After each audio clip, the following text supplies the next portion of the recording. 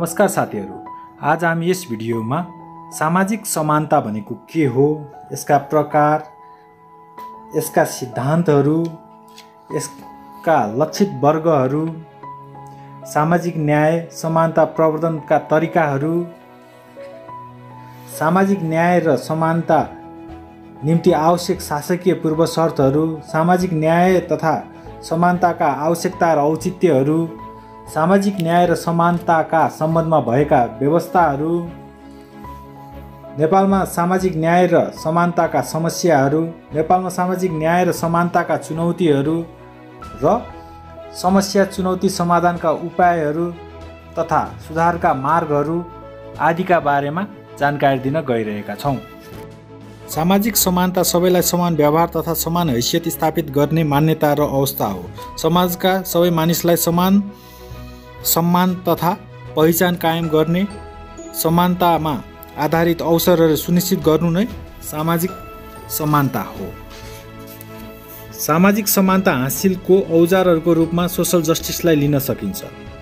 समानताका प्रकारहरूमा समानतालाई खास गरी दुई प्रकारमा विभाजन गर्न सकिन्छ। औपचारिक समानता र वास्तविक सार्वन समानता।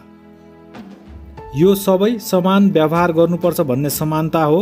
यसले कमजोर बलियो सबल निर्बल अपाङ्ग धनी गरिब सबैलाई समान दृष्टिकोणमा राख्नुपर्ने तथ्य अघि सार्दछ। तर समाज आफैमा असमानताको पुञ्ज भएकाले सबैलाई समान व्यवहारले झन कमजोर हरूलाई कमजोर हुने र सबलहरूलाई अझ समृद्ध हुने अवस्था सिर्जना गर्दछ। तसर्थ यसले व्यावहारिक समानता ओझेलमा पर्ने हुँदा यो खालि औपचारिक र सैद्धान्तिक प्रकृतिको समानता हो। यो सबै समान अवस्थामा रहँदा मात्रै न्यायिक हुने हुन्छ। त्यसै गरी वास्तविक समानता भनेको समानलाई समान तथा असमानलाई असमान व्यवहार गर्नुपर्ने दृष्टिकोणको हिमायती मान्यता हो। सार्वन मान समानता। यसले समाजका सबै मानिस समान अवस्था र हैसियतमा नहुने हुँदा सबैलाई एकै विधिबाट गर्ने व्यवहारले असमानता हट्दैन बरु उल्टै असमानता र विषमता बढ्ने हुन्छ। तसर्थ असमानलाई असमान वा विशेष व्यवस्था गर्नुपर्छ। यो भनेको नै सार्वन र सारभूत सामन समानता हो। यसले व्यावहारिक समानताको पक्ष पोषण गर्दछ। सामाजिक समानता नै सारभूत समानताबाट प्राप्त हुने र अर्थपूर्ण हुने भएकोबाट सारभूत समानता नै साँचो अर्थमा सामाजिक समानता हो। समानताका सिद्धान्तहरूमा समताको सिद्धान्त समान व्यवहारको सिद्धान्त क्षतिपूर्तिको सिद्धान्त सहभागिताको सिद्धान्त अवसरको सिद्धान्त सशक्तिकरणको सिद्धान्त शक्ति सिद्धान्त उत्तरदायित्वको सिद्धान्त अधिकारको सिद्धान्त आदि पर्दछन्। सामाजिक समानताका लक्षित वर्गहरूमा महिला दलित आदिवासी जनजाति मधेसी किसान र मजदुर आर्थिक तथा सामाजिक दृष्टिकोणले पिछडिएको वर्ग बालक वृद्ध श्रमिक फरक ढङ्गले सक्षम व्यक्ति अपाङ्ग असहाय र आसक्त नागरिक पर्दछन्। साथै नेपालको सन्दर्भमा द्वन्द्व पीडित एवं विस्थापित सीमान्तकृत तथा उत्पीडित जाति क्षेत्र वर्ग तथा समुदाय र आम नागरिकहरू पनि पर्दछन्।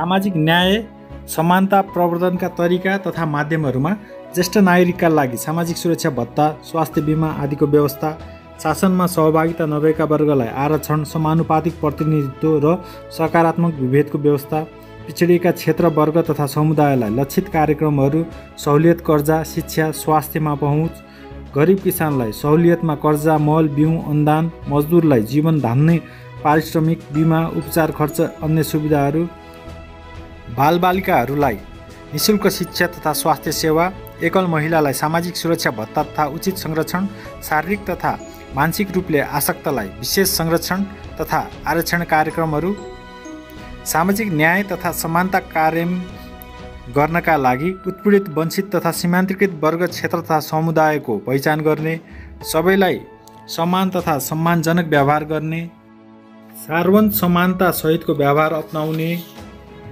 राज्यको मूलधारमा समाहित गर्न तथा सशक्तिकरण एवं सबलीकरण गर्न देखाएका नीति तथा कार्यक्रमहरू अवलम्बन गर्ने। समावेशीकरण सकारात्मक विभेद समानुपातिक प्रतिनिधित्व आरक्षण विशेष व्यवस्था सामाजिक सुरक्षा आदि पर्दछन्। सामाजिक न्याय र समानताका निम्ति आवश्यक शासकीय पूर्वशर्तहरूमा लोकतान्त्रिक शासन व्यवस्था समानुपातिक प्रतिनिधित्व समावेशिता तथा सकारात्मक विवेक कानुनको शासन सहभागितामूलक शासन शैली जनउत्तरदायी सरकार स्वतन्त्र र निष्पक्ष तथा आवधिक निर्वाचन प्रणाली विकेन्द्रीकृत शासन प्रणाली सक्रिय नागरिक समाज स्वतन्त्र न्यायपालिका तथा कानुनी राज्यको मान्यता मौलिक तथा मानव अधिकारको सम्मान तथा संरक्षण नागरिक सर्वोच्चताको स्थापना आदि पर्दछन्। सामाजिक न्याय तथा समानताका आवश्यकता र औचित्यमा सामाजिक लाभहरूको न्यायिक वितरण अवसरहरूमा सबैको समान पहुँच सुनिश्चित गर्नु सबै सामाजिक विभेदको अन्त्य गर्नु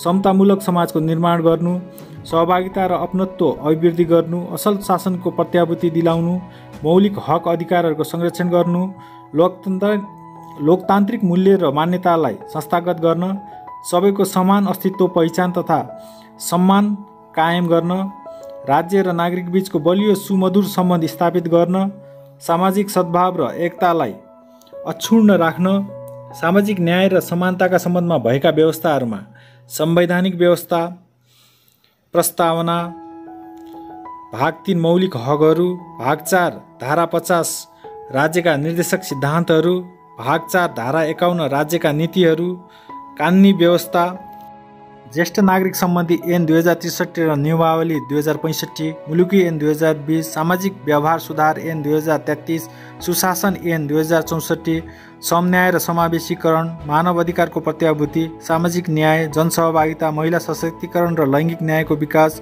बालबालिकाको अधिकार सम्बन्धी ऐन दुई हजार अडचालिस समाज कल्याण ऐन दुई हजार उनपचास।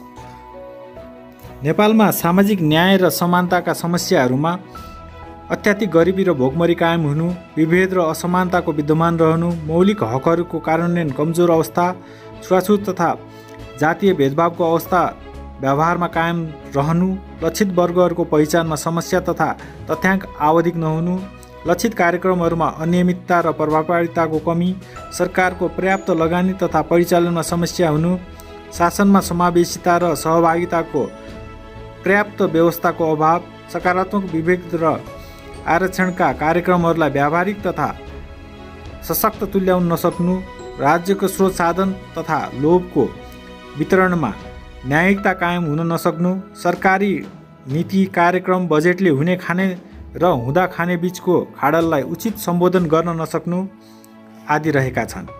नेपालमा सामाजिक न्याय र समानताका चुनौतीहरूमा अति गरिबी र भोकमरीलाई घटाई हुँदा खाने र हुने खाने बिचको असमानताको खाडल कम गर्दै सामाजिक न्याय सुनिश्चित गर्नु मौलिक हकको कार्यान्वयनलाई बलियो र दरिलो आधारमा सुनिश्चित गर्नु लक्षित कार्यक्रमहरूको पर्याप्तता प्रभावकारिता व्यावहारिकता अभिवृद्धि गर्दै लक्षित वर्गलाई सबलीकरण र सशक्तिकरण गर्नु सरकारी लगानीको पर्याप्त र प्रभावकारी व्यवस्था तथा परिचालन कायम गर्नु समावेशिता सहभागिता विशेष कार्यक्रमहरूको निरन्तरता तथा दिगोपन सुनिश्चित गर्नु साधन र लाभको वितरणमा समन्यायता हासिल गर्नु सरकारी नीति कार्यक्रम र बजेट बिचको त्रिपक्षीय समन्वय र तालमेल कायम राख्नु आदि रहेका छन्।